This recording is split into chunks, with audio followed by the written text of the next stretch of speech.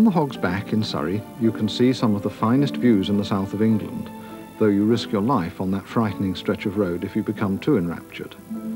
It's surprising how green and unpopulated the countryside seems, even though this is prime stockbroker belt and crowded by thrusting London commuters with their big fast cars.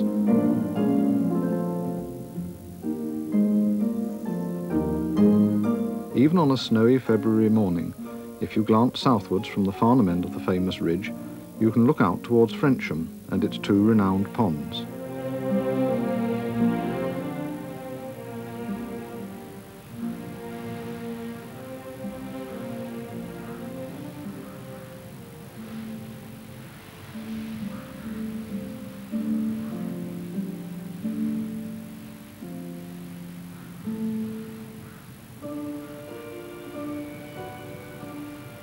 Frensham Great Pond is nearly two miles in circumference and was mentioned in 1208 when it was the property of the Bishop of Winchester. It provided his table at Farnham Castle with what must have been rather muddy tasting fish, even though in 1749 Bowen's map recorded that Frensham had springs not inferior to those of Tunbridge Wells.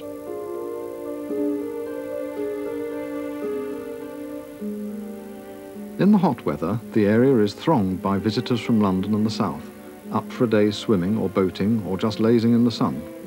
But in a winter's week, when the temperature rarely crept above zero, all life seemed suspended, frozen into solemn silence.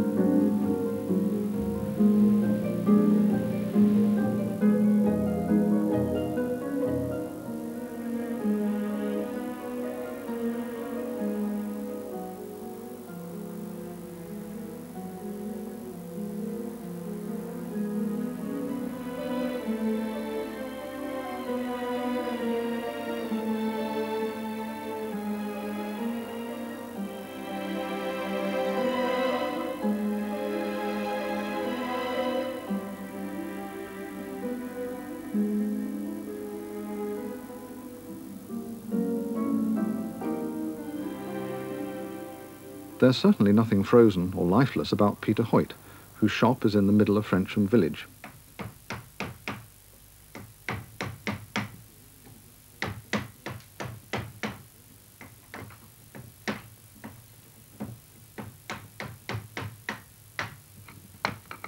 A skilled and busy upholsterer and furniture maker, he is also an avid collector. His home is an Aladdin's cave of old sewing machines, bicycles and musical boxes, to list only the beginning of his extraordinary collection.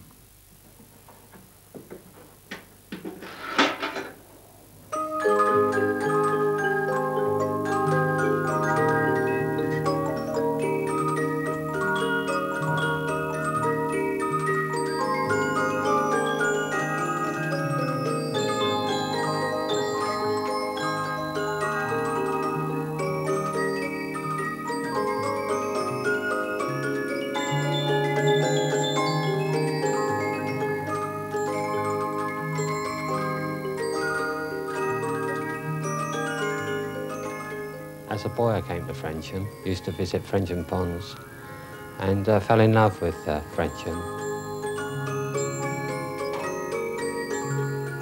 It's a very nice, tight village, and at that time, my children were growing up, and I wanted them to um, enjoy the Frensham way of life and the village life. So uh, we moved here. I didn't really intend to move to Frensham. I still intended to live at the Hog's Back and then come to the business every day. But uh, as I say, it's such a super village.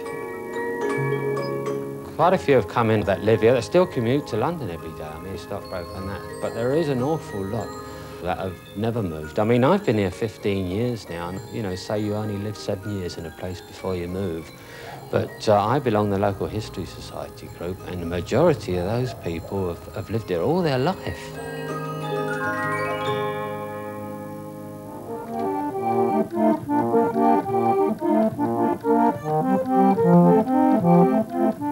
Everybody started collecting in the 70s because they thought it was all going to be lost for their children and such like. And so I started collecting. Started with sewing machines because they were allied to my trade and then got hooked on bicycles from bicycles to mechanical music, and now anything that turns up, you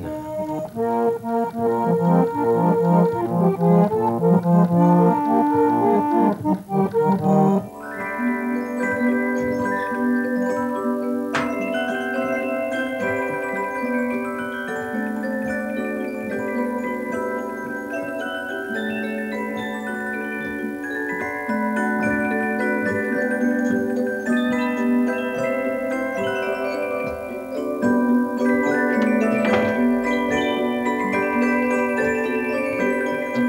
Bike I ever bought was the Bone Shaker of 1864, I think. That was the first bicycle that had pedals. Prior to that, it was the hobby horse where they scooted along with their feet. There are only museums and collectors have such things really now. You have to go to specialist sales in town. It's very seldom that you find anything locally.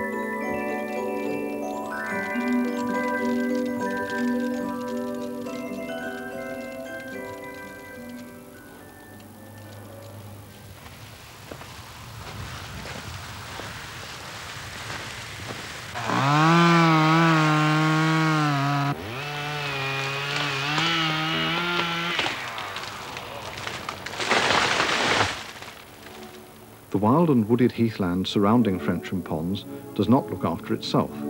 It takes much work, skill and effort to keep it in trim and to protect plants, birds, deer, all the wildlife, from the pressures of wind, weather and trippers. This is a full-time job for Ranger Stuart Dacres. It's special mainly because the, it, it's a, a situation where the interests of conservation and recreation can be reconciled. It's very fragile uh, habitat anyhow.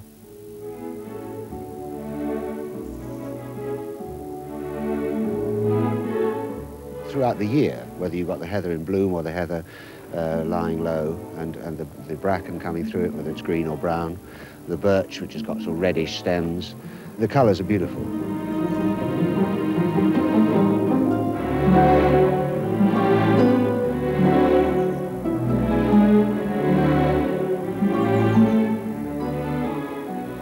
But in the spring, as soon as you get a good weekend, they pour out dogs, kites, children into the heather at the same time, of course, as the birds are nesting and everything else is mating. It can be very difficult then.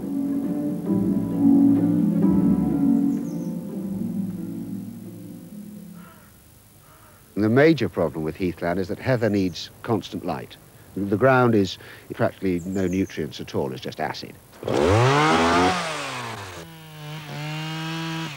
The heather to survive needs light the whole time, and the big problem is the encroachment of birch, the encroachment of pine, and the encroachment of bracken, because they just seed out, and pine just shades the light out.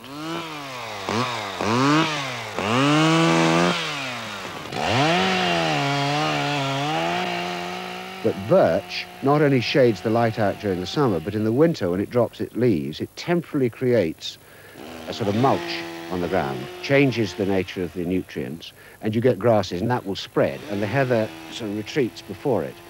So the major management function is to keep the heathland clear of birch and pine, and also to hold the bracken back.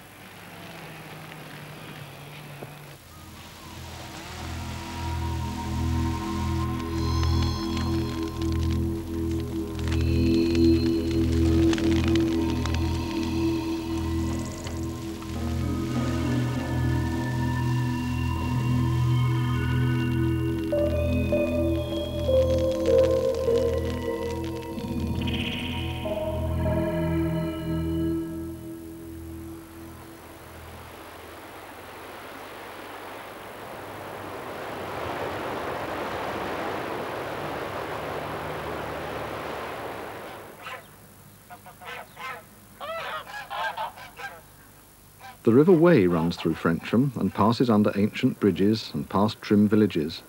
A few miles further on, it reaches Godalming, where Phil Roberts, with the help of his trusty steed Domino, is getting into training for the summer months, when together they will pull holidaymakers up the river as they used to do it in the good old days.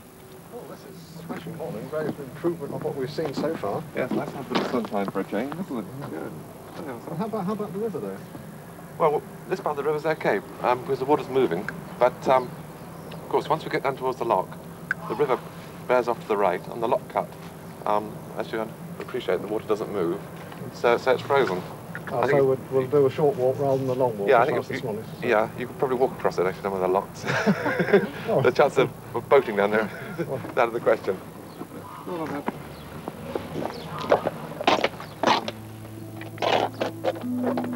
where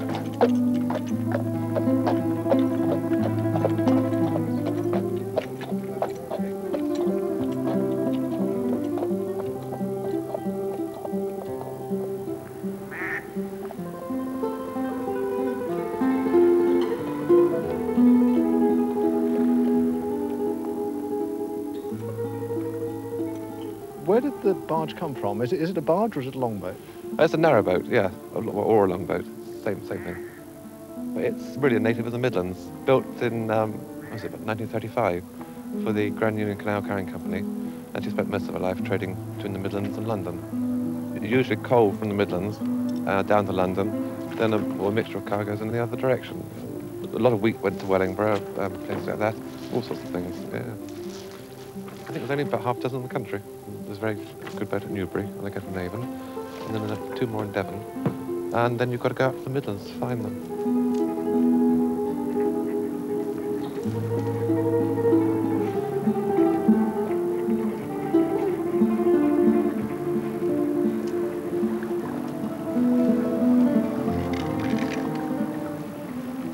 Most of the old boat horses were usually cast horses, which had been on farms or were old, old, were old vanners. Domino came with a boat, funnily enough.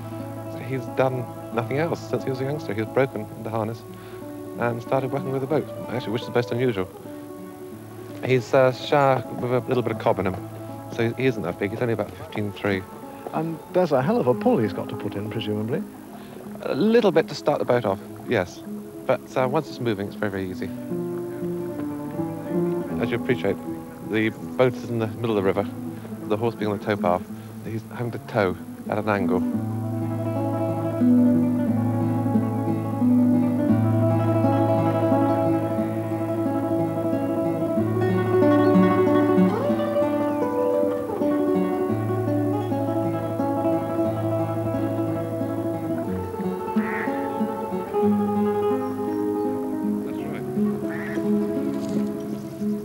The horse falls in occasionally, but um, we get him out.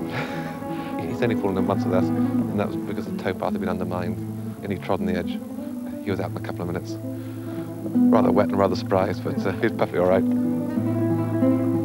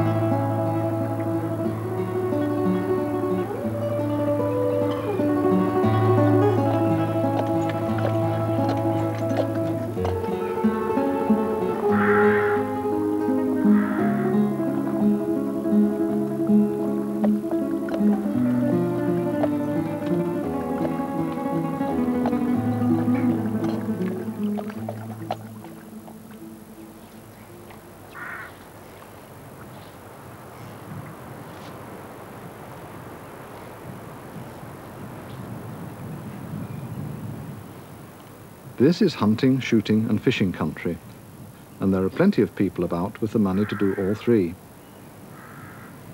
At Wishanger Stud at Churt, Richard Twite can provide the facilities. He even has customers to fish his stretch of the River Wey when the air temperature is freezing the line as it passes through the eyelets on the side of the rod.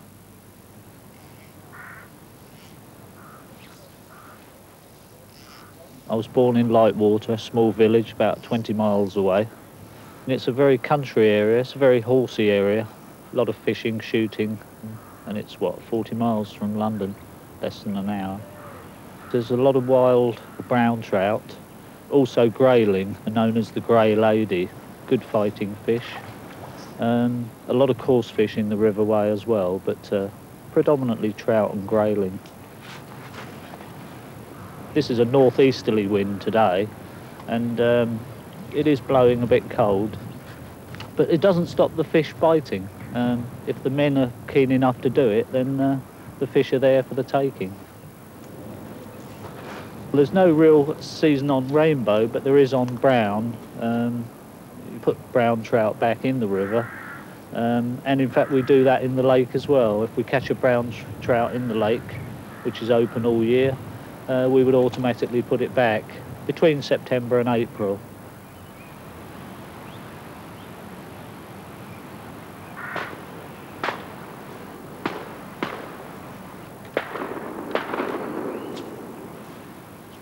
Shooting I enjoy, but trout fishing is my love.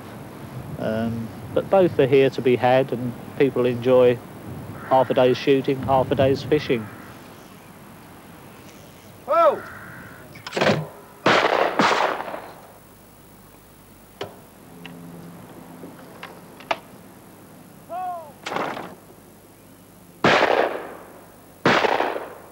In the afternoon, some of the fishermen join other enthusiasts to try their hand at clay pigeon shooting at the far end of Wishanger Stud.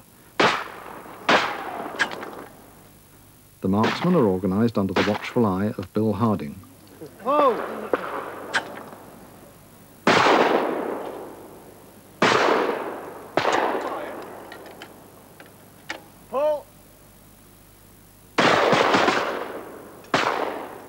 It's beautiful. All the countryside, yes, very nice, very comfortable, easy going. You've got the hills, the trees, everything. And yet what you're doing really is perhaps training people to be destructive in that countryside. Well, you are, but at the same time you're teaching them to be safe, which is the main thing if you're using a firearm. And at the same time, learning to use the gun comfortably so that when you shoot at a live animal, you kill it and don't just wound it. We try to simulate a live animal, a dropping bird coming in, which we would call a, decoying pigeon. We get a driven partridge, a high bird, which we call a high pheasant, this sort of thing. We get surgeons, solicitors, poachers, gamekeepers, you name them, we get them. Once they start clay shooting, then they will keep clay shooting. It's a very popular sport, it's becoming more popular, and also it's much cheaper than shooting the pheasants. Pull!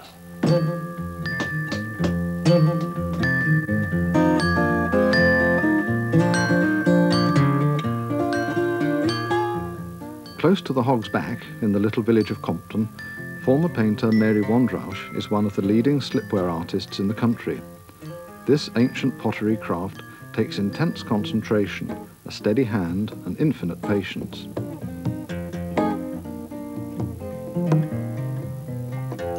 I draw every day. It's like going to the lavatory. You have to do it every day, and I'm always drawing. I didn't think I was actually inspired by nature. And I must say, it made an absolutely amazing difference when I moved to the country.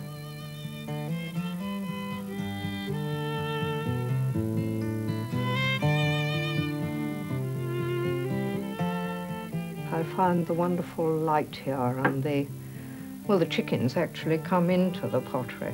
And of course the cats here and the donkeys outside and the trees. It really has altered my work quite considerably.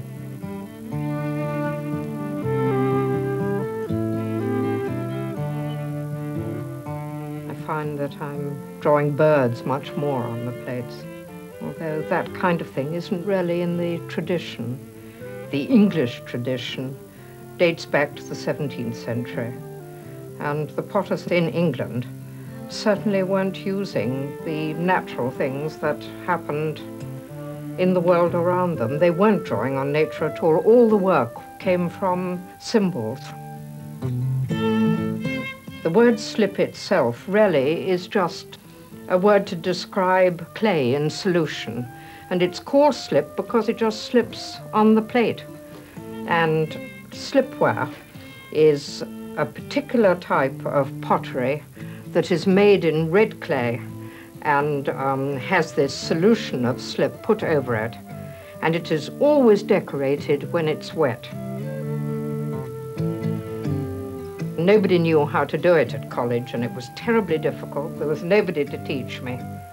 And so I started doing it partly because it was so difficult. And in the 17th century, they would have used a cow horn and tipped the slip out. So I developed this extraordinary thing where I actually extrude the clay, and that makes it easier to work.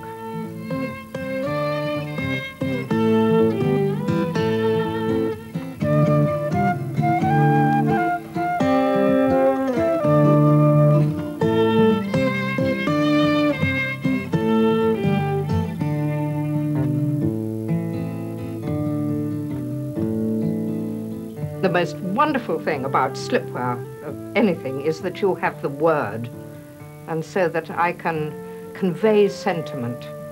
I can write to Ron from Mary with love on the plate. And so all the time I am working, I'm making special plates for people to commemorate their marriage or the birth of a child. And I love that relationship with the people and a continuing relationship.